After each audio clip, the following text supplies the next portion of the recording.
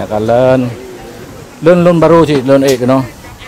Baru kan anak dengar dengar untuk Jadi kalau udah sampai dapat dua mulai nyampe di sini belum sah. belum sah dia. Ya. Makanya saya kemarin harus balik lagi nih karena waktu pergi kemarin tuh belum sampai sini. Oh gitu.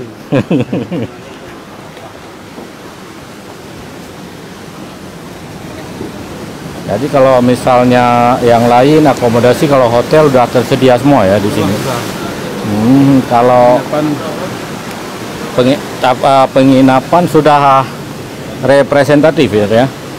jadi kita harapkan supaya ada yang pihak investor yang lain lah bisa untuk penanaman modal di Selatan untuk membuat itu tingkat walaupun hotel-hotel berbintang tiga lah kan. Iya. Ya, kita memang kalau waktu kadang-kadang hari Minggu itu itu kadang nggak cukup kamarnya di sini. Hmm. Karena Ya. antusiasi masyarakat dari berbagai daerah dengan adanya kita promosi sektor pariwisata di Asia Selatan har- hari ini kan bisa kita buktikan kan mereka Ah. ada dari Banda Aceh di mana-mana datang di sini. Hmm. Rombongan ini ini belum ini ya ditangani lagi nanti Pak ini kemarin kan pas waktu angin kemarin nih. Oh, Ini kan selalu lepas nih ya. iya. Tunggu.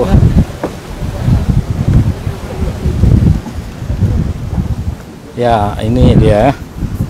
Nah, saudara kita lihat ini. Tapak Tuan Tapa. Mungkin Pak Bupati bisa cerita sedikit nih. Sejarahnya. Mana itu? Legenda pencerita Tuan Dapa mana tuh? Mana legenda? Ah, yang menceritakan Tuan Dapa mana orangnya? Ini Arun. Ah.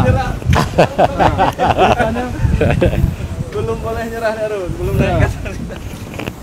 Itu dia langsung kelihatan itu tapak. Ah, ini coba lihat dulu tapaknya. Nah, tuannya nih Pak Jena. Ini ya namanya ya.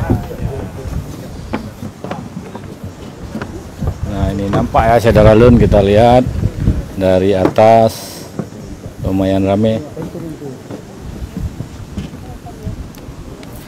Siapa bercerita? Ini ada yang pengelola nih Pak. Ah ini ya. Ini. Bang. Ini buku. Boleh naik Pak? Tak boleh turun Pak. Ah, nggak boleh turun. Kenapa nggak boleh turun situ ya? Kadang-kadang ombaknya datang seketika tuh. Oh itu ya. Tiba-tiba ombaknya ya. Tiba-tiba tuh. Hmm. Banyak-banyak kejadian kemarin tuh kan. Kali kejadian ah. Ah, nama huru ah. Hmm. Bukan apa-apa, kadang ombaknya datang tiba-tiba Pak.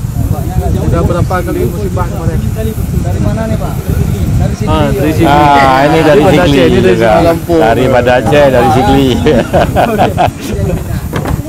nah, dari Medan juga. ah? Al Tingkili. Oh, Makasih Pak ya. iya ya.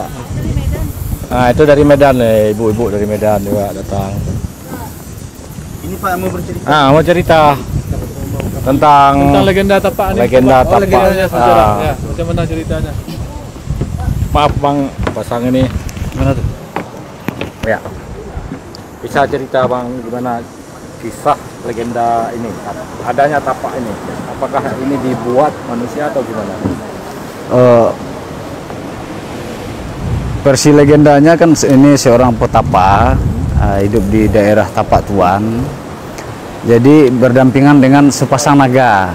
Sepasang naga tadi yang mengasuh seorang putri. Putri ini kabarnya eh, yang dia dapat hanyut di perairan laut Hindia, Pak. Jadi dia dan dipelihara. Dipelihara sampai dewasa, sampai dewasa. Setelah putri ini dewasa eh, ada ada sebuah kapal dari seberang lautan yang kabarnya itu adalah orang tua putri yang dulu dihanyutkan karena mungkin daerahnya lagi berperangan dihanyutkan yang dipelihara oleh naga. Jadi eh, si orang tua ini ingin mengambil putrinya kembali tapi naganya eh, tidak mau menerima, tidak mau menyerahkan, Pak. Ah. Jadi di- berawal dari situ terjadilah keributan. Keributan perperangan sehingga mungkin kalau diteruskan bisa terjadi kehancuran di eh, wilayah Tapak Tuan Pak ya. Di Tuan Tapanya eh, karena Tuan Tapa itu merasa memang nggak boleh ada di sini keributan maka Tuan Tapanya memukul naga Pak sambil melompat ke mari Pak nah, di sinilah ada pendaratan kaki kanannya yang pertama kalinya jadi yang aslinya itu sebelah kanan Pak itu yang ada kolam Oh, itu ada kolam. Yang ada kolam itu yang aslinya, Pak. yang asli. Dulu panjangnya 2 meter, tapi karena mungkin eh, terjadinya kikisan, jadi agak besar melebar. Terus sementara yang ini memang sebenarnya tujuannya jangan yang asli itu terganggu, dibuatlah sebuah replika. Jangan pengunjung nanti merusak yang asliannya, jadi dibuatlah sebuah replika. Tahun 2005, Pak. 2005. Aslinya kesan- yang sebelah Ah, sana aslinya itu ya, yang sebelah kanan yang ada kolam. ya? Ini di sini nggak bo- nggak boleh turun. Eh, se- sebelum ini dijadikan destinasi objek wisata itu sebenarnya pak enggak apa-apa juga karena bebas masih ya tapi karena udah destinasi jadi pemerintah bertanggung jawab ketika di sini ada korban maka dibuat sebuah aturan tidak boleh sembarang lagi pak Iya. karena sering kejadian udah beberapa kali kena ombak besar itu ke fatal pak meninggal dunia Yang terakhir kemarin anak mahasiswa yang USU, Pak. dari USU Medan. dari satu orang dari eh, itu Papua ya satu orang dari Papua satu orang Papua dari Medan. ya dari Medan Oh itu ya Pak. Ta- bulan berapa itu Pak? Sekitar satu tahun yang lewat yang dari Papua itu Kemudian kemudian ini sempat ditutup di rehab ya sekaligus di rehab ya. Ini mungkin nih anggota DPR nih dua-duanya nih harus bicara nih soal karena ini kan putra Aceh Selatan ya. Dua-duanya putra Aceh putra Selatan. pilihan. Eh, putra pilihan. Pilihan, ya. ya ini apa yang akan dilakukan nih oleh DPR? Ini ini otsus ya dana otsus diperjuangkan oleh. APBK. itu yang membuat Saya dulu nih. Ah, Jadi boleh. kan Pak Bupati kan, ini Ah. kalau bisa begini. Kita sama-sama ini. Kan kalau misalkan ke kita ke hutan mangrove yang di Kuta Langsa itu, Ya. ini didesain kemudian di ujungnya itu ada semacam mercusuar gitu. Hmm. Tapi memang biayanya agak banyak, mungkin lebih di atas 10 miliar kan. Kemudian ini saya rasa memang ini boleh saya nanti Bang Hen dan Pak Bupati memikirkan ini supaya lebih aman masyarakat berkunjung kemari nggak papan begini kita buat permanen Pak Bupati.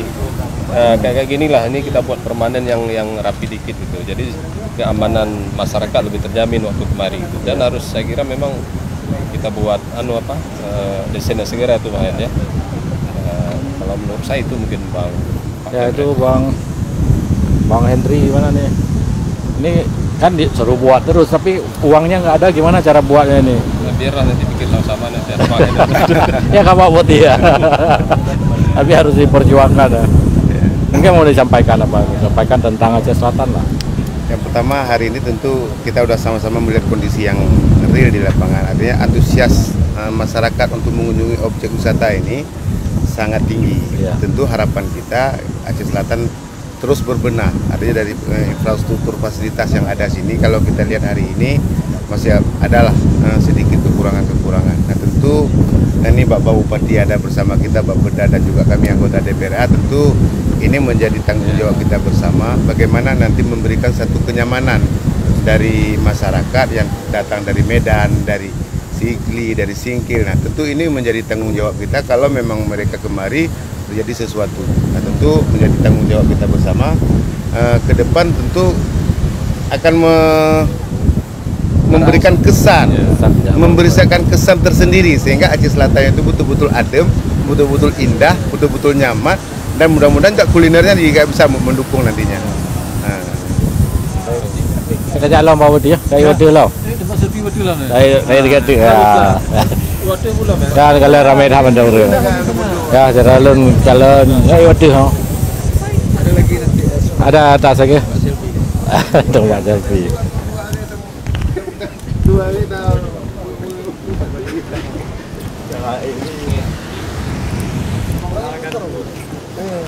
Oke ini masih ini yang perlu ditangani segera nih kayaknya Pak Budi ya. Eh, karena angin ini ya di sini ya. Atau ada ombaknya juga. Besar ya. Oh angin ya atas ya.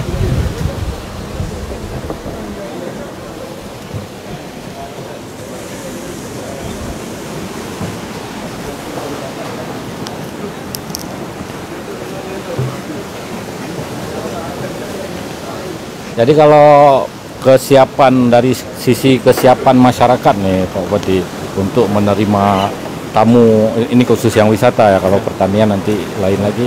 Yang wisata ini bagaimana Pak Bupati melihat uh, kesiapan masyarakat di Aceh Selatan?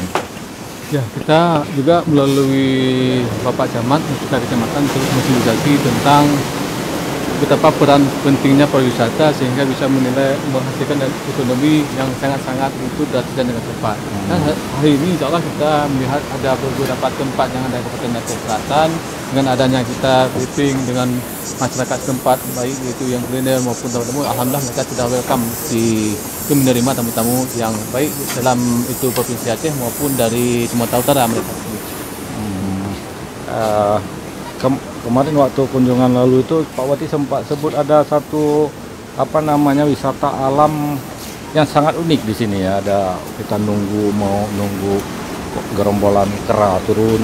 Oh ya ada. Itu di mana itu? Itu di ada yang di Rantau Salang dan juga ada juga di jalan di sini di jalan kita antara Tapak Tuan dengan Pasir Raja di gunung-gunung itu. Uh, Nah, nanti kalau di sana tuh ada juga di Selatan sana, termasuk di kampung saya, ada wisatanya orang hutan yang bisa kita melihat langsung orang hutan bebas itu dalam berbuka di kawasan TNGS. itu tapi dia musiman atau ada tiap hari?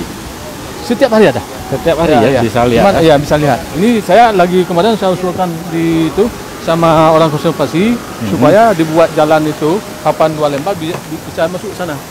Hmm. Nah, ini tangganya 123. Ini Iya, sampai ke atas. sampai ke atas. Rumahnya berat aja untuk rumah.